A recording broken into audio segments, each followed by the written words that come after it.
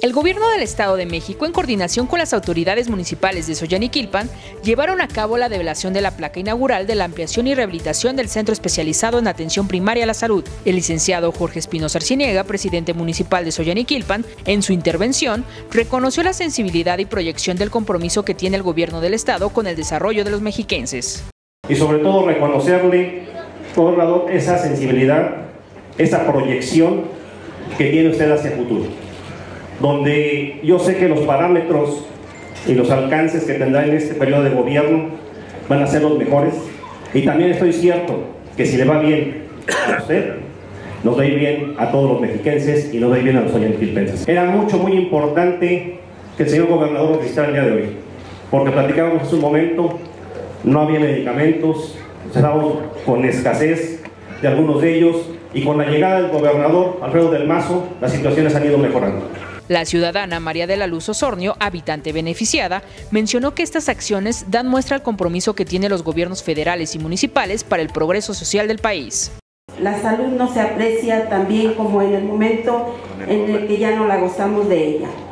Este centro especializado de atención primaria tiene como finalidad ayudarnos a la población de esta zona a estar en mejores condiciones de salud. El doctor Gabriel O'Shea Cueva, secretario de Salud y director general del Instituto de Salud del Estado de México, señaló sentirse contento con la rehabilitación y equipamiento de este centro, ya que servirá para brindar un mejor servicio a los mexiquenses.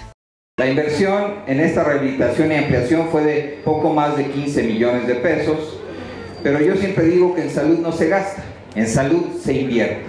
¿Por qué? Porque las enfermedades no tienen palabra de honor, las enfermedades llegan sin avisar. Me parece que eso es lo más importante, el hecho de poder dormir tranquilos y saber que el gobierno del Estado, el gobernador del Mazo, está pendiente de la salud de cada uno de nosotros.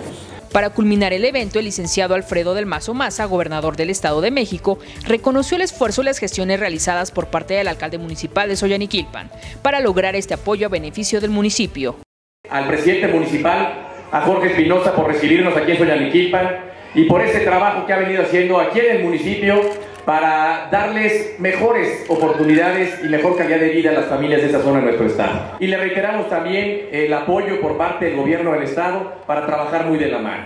Además, puntualizó que la salud será una prioridad dentro de su administración.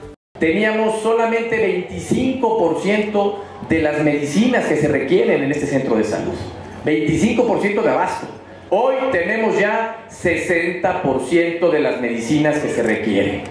En tan solo un mes y medio hemos crecido del 25 al 60% de las medicinas que se requieren. Agregó que en salud el gobierno del estado invirtió 24 millones de vacunas contra la influenza por la época invernal. Reportó Jessica Gómez.